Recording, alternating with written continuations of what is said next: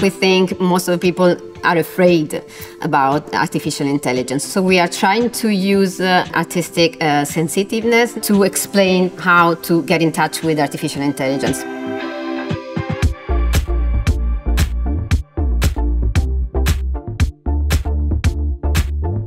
Machines for Good is a project whose aim is engaging teenagers through artificial intelligence and arts to promote their civic participation. Our role here is giving them tools and instruments to go through the technology to understand the design, what is designed for, so to become more active and to practice some agency on artificial intelligence through arts they all had to use an AI tool, such as chatbots, recommender system, ChatGPT, to stimulate the debate amongst youngsters and then uh, helping them also to imagine visionary futures. Thanks to the Citizens Equality Rights and Values program of the European Union, we could implement uh, the activities of the Machines for Good, uh, not only uh, thanks to the fundings we received, but also uh, it was important to give the opportunity to youngsters to build up their opinion, but also the possibility to share their ideas among peers. It has been very nice to let them collaborate with the same methodology in four different countries. They